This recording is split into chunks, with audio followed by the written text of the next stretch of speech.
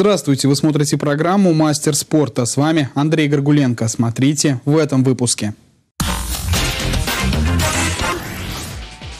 Начали новую серию без поражений. Футболисты Крыльев Советов набрали 7 очков из 9 в трех последних матчах первенства России. Триумфальное возвращение. Баскетболисты Самары после карантина только выигрывают. Соскучились по соревнованиям. Юные самарские теннисисты разыграли первенство города. Самарские крылья Советов за минувшие две недели провели три матча в первенстве России по футболу. Выездная ничья с Краснодаром-2 затесалась между двух домашних побед. Сначала подопечные Игоря Осенькина разгромили Тольяттинский Акрон в историческом региональном дерби со счетом 3-0. А затем в первом матче второго круга футбольной национальной лиги переиграли московский Велес со счетом 2-1, вернув долг за поражение в первом матче. Подробности игр на стадионе «Самара-Арена» расскажет наш корреспондент. В 20-м туре футбольной национальной лиги самарские крылья Советов одержали историческую победу. Подопечные Игоря Осенькина переиграли Акрон из Тольятти на домашнем поле. Хозяева открыли счет уже на седьмой минуте встречи с пенальти. 11-метровый уверенно реализовал полузащитник Антон Зиньковский. Через три минуты свой 18-й мяч в турнире забил Сергеев. Лучший бомбардир первенства замкнул головой передачу Дмитрия Кабутова. События в первом тайме развивались очень стремительно. На 13-й минуте Даур Квеквискири получил прямую красную карточку за грубую игру на Владиславе Сарвеле. Перед перерывом перерывом Дмитрий Кабутов сделал еще одну голевую передачу на Владимира Полуяхтова. Защитник установил окончательный счет на табло 3-0. В конце матча футболист Акрона Андрей Киреев получил второе предупреждение, и тольяттинцы доигрывали поединок в девятером. Мы забили быстрый гол, второй гол. После этого выход один на один, удаление. Ну и, конечно, в меньшинстве спасти игру Акрону в этот момент было сложно. Мы уже ее, конечно, полностью контролировали. Наставник гостей не стал оправдывать своих футболистов после матча. Да комментировать особо нечего. Игру проиграли за первые там 10 минут. То есть там две атаки, пенальти, гол, плюс удаление. И в меньшинстве уже обыграли крылья советов. Ну, очень-очень сложно. По словам защитника самарской команды Никиты Чернова, за последнее время футболисты Крыльев провели слишком много матчей, но игроки нашли в себе силы на поединок с Акроном. За 40 дней, получается, или за 30, что-то 11 игр. За 40 дней, по-моему, 11 игр было.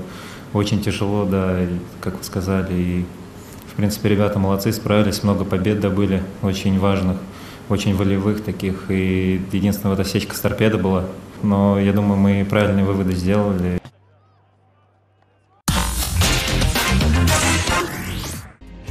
Крылья Советов и столичный Велес показали болельщикам настоящий триллер на Самара-арене. По закону жанра все начиналось спокойно. В первом тайме команды присматривались друг к другу, но все изменилось после перерыва. Гости открыли счет на 76-й минуте. Саид Алиев реализовал выход один на один.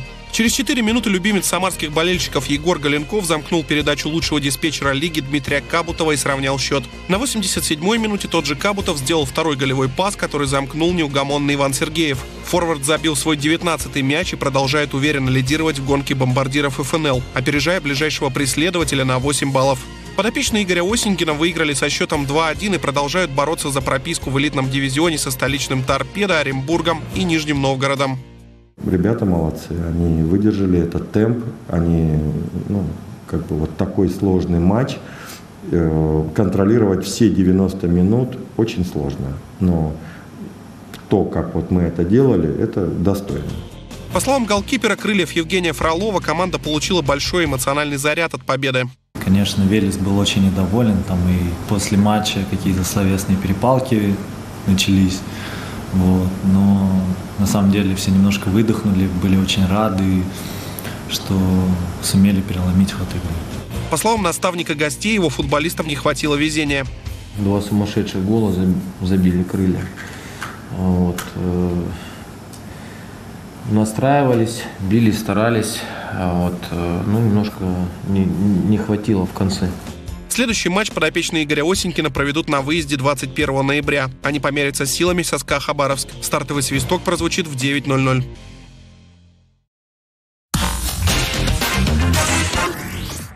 Баскетболисты Самары после коронавирусного карантина одержали две домашние победы подряд. Встречи получились абсолютно разными. Сначала волжане без сложности одолели буревестник, который приехал в Самару в усеченном составе, а затем в труднейшем поединке вырвали победу у столичной руны. Подробнее о матчах в следующем материале. Между первым и вторым матчами Самары в Суперлиге прошел месяц. В это время клуб был на коронавирусном карантине. Вмешалась новая инфекция в проведении игры с буревестником. Гости из Ярославля приехали на встречу только в пятером и проводили ее без замен. Изначально между собой они договорились, что будут играть проще, чтобы сохранить силы и здоровье на весь матч. Мы с ребятами обсудили, что мы не имеем преимущества в габаритах над Самарой. Поэтому было принято решение стоять в зоне для экономии энергии. Старались делать более легкие атаки, легкие броски. Иногда не получалось, пытались зайти в краску. Ситуация у соперников, приехавших в очень усеченном составе, позволила главному тренеру Самары Игорю Грачеву использовать всех игроков ротации, чтобы они почувствовали игровой ритм после долгой паузы. Я попросил ребят единственно а, профессионально относи, а, отнестись э, к своему а, делу, хорошо размяться и не получить травму в этой игре. Если честно, уже устали тренироваться, хотелось поиграть, поэтому нам нужна была даже э, такая игра, как сегодня. Если в дебюте матча у гостей еще были силы гнаться за Самарой, то с каждой последующей четвертью эти силы кончались, и хозяева паркета увеличивали разницу в счете. Итог 117-70 уверенная победа Самары. А вот второй домашний матч против московской руны прошел куда тяжелее. Самара на старте игры забуксовала и всю первую четверть была в догоняющих, лишь пару раз сравняв счет. Во втором периоде поначалу сценарий был тем же, но к середине четверти самарцы наконец разогнались. Несколько точных трехочковых позволили хозяевам выйти вперед и лидировать до большого перерыва. Всю третью четверть Самара вела в счете, но в самом конце преимуществом завладели игроки руны. Ребята бились до конца, это не вправе, не, а, вправе оправдания, а просто мы, а, у нас отсутствует игровая практика, и где-то мы контролировали большую часть игры, а, вели и неплохо, а, неплохо выглядели, но, к сожалению, некоторые игроки не вписались, которые основные игроки, которые должны были а, принести а, пользу. Четвертая четверть началась с еще одного провала самарцев. И казалось, что Руна подтвердит звание неудобного соперника для волжан. В прошлом сезоне их обыграть так и не удалось. Но подгоняемые трибунами самарцы собрались в решающий момент и забили несколько сложных бросков, которые изменили ход матча. Ну, конечно, обидно, мы вели по счету, но это игра, это спорт.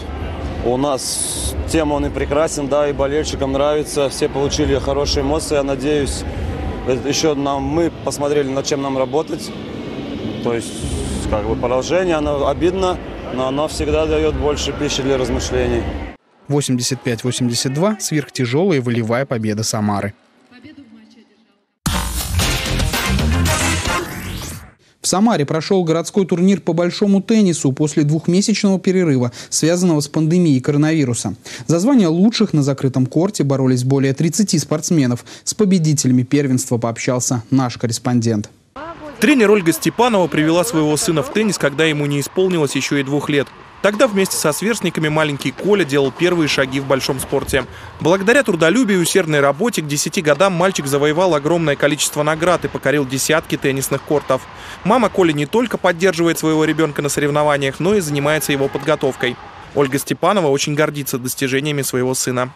В Белгородской области мы выигрывали по старшему возрасту. Также он является третьим в России по своему возрасту. Входит в тридцатку по 13-летним детям. То есть, если сейчас пересчитают к январю месяцу, то должны занять третью строчку. Будем надеяться, что мы ниже не уйдем.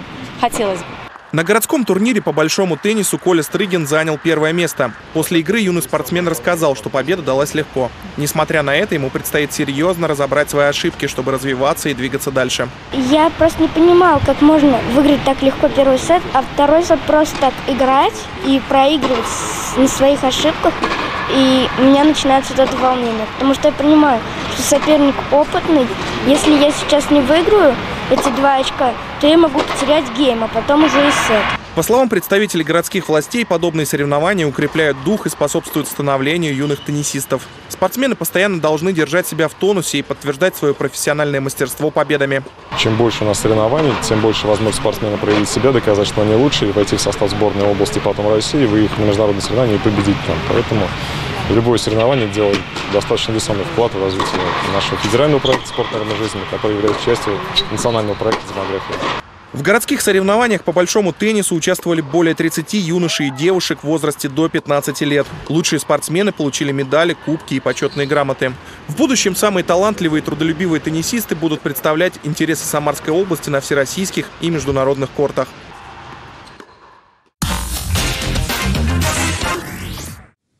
В Самаре состоялся всероссийский юношеский турнир по киокюсинкай под названием «Самарский кайман». В это же время в городе состоялся Кубок России. Лучшие каратисты страны боролись за титул мастера спорта.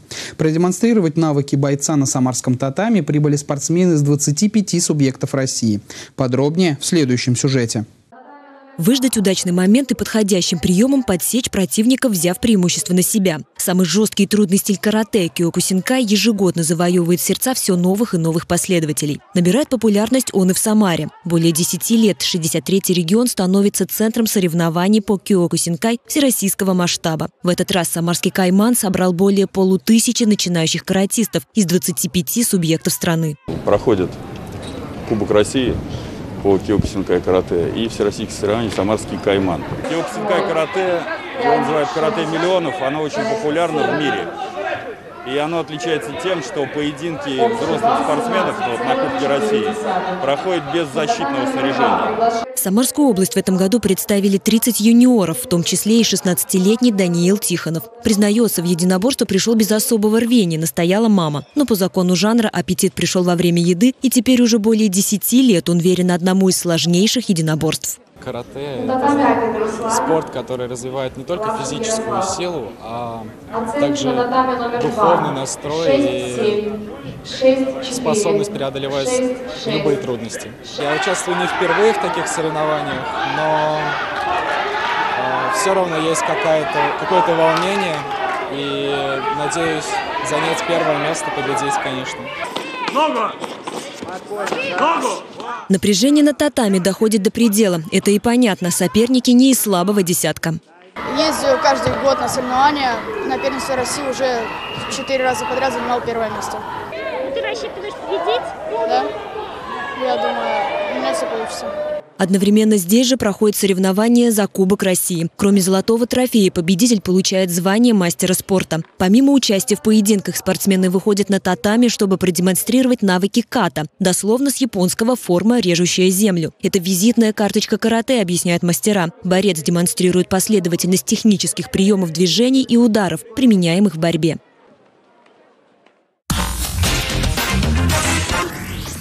В Самаре прошло первенство по еще одному боевому искусству, но менее контактному. Соревнования по УШУ организованы по федеральному проекту «Спорт. Норма жизни» нацпроекта «Демография». За звание лучшего боролись около 100 спортсменов в разных возрастных категориях. По каким критериям оценивали выступления юных спортсменов судьи, узнал наш корреспондент.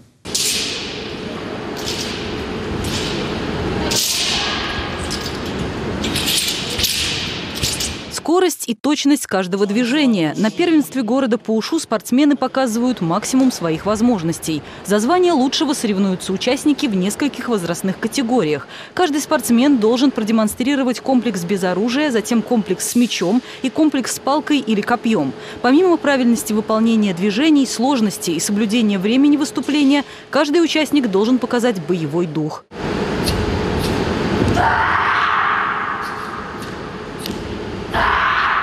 Соревнования проходят по федеральному проекту «Спорт. Норма жизни» нацпроекта «Демография». Участие принимают 90 спортсменов. Вопросам безопасности организаторы уделили особое внимание. Все рекомендации Роспотребнадзора соблюдены. Меры предосторожности все были соблюдены. Это масочный режим, дистанция. Э, по расписанию проходят соревнования, то есть судья при участниках спускается Э, фойе помещения, забирают детей по списку за час до их выступления.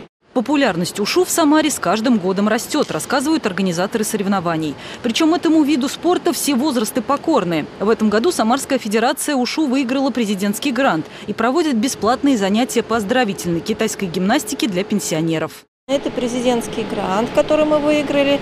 Он стартовал в сентябре этого года, продлится 11 месяцев. У нас часть пенсионеров перешло на онлайн-занятия. Вот с понедельника у нас стартует онлайн-занятия. Найти их можно будет ссылки на сайте Самарской Федерации УШУ, на ссылка Федерации УШУ ВКонтакте. Вот. Занятия будут проходить также по графику два раза в неделю для каждой группы онлайн. А те, кто до 65 лет, они будут офлайн заниматься. Победители городского первенства представят Самару на областных соревнованиях, которые запланированы на декабрь. На этом наш выпуск завершен. Больших побед вам. Удачи!